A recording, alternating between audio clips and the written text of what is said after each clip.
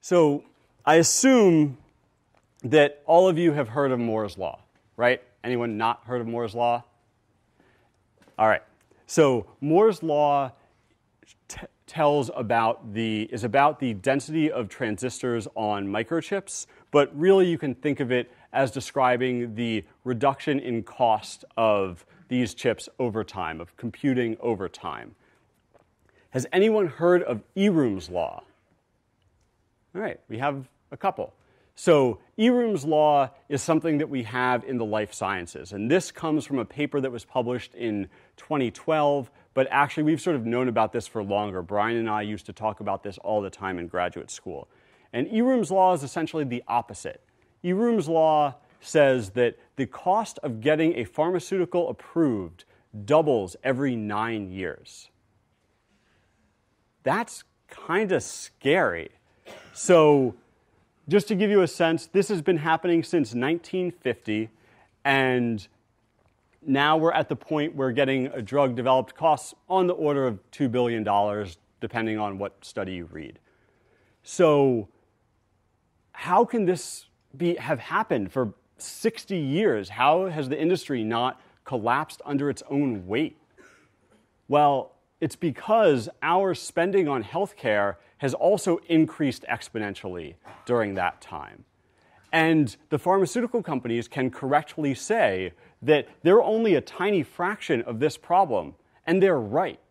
But in 2004, our per capita spending on healthcare in this country was uh, $9,500 per person.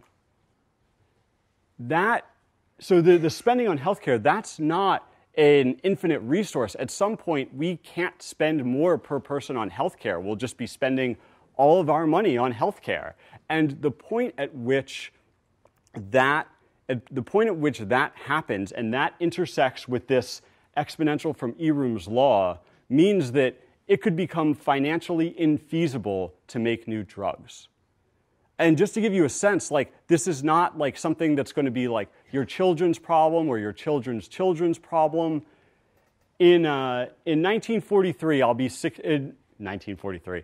In 2043, I'll be 60 years old, and hopefully we'll still be alive. If this, if the, if Eroom's law continues, it'll cost 16 billion dollars to develop a drug at that point.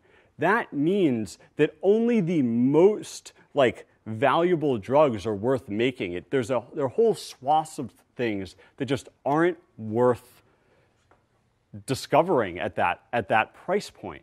And so that's a really scary thing, and that's a problem that we have to solve. So just to show you that I'm not all like gloom and doom, there is actually a sort of silver lining hiding here.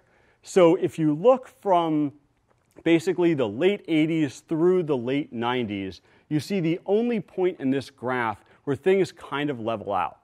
And that's where the first wave of biotech drugs sort of came through the market.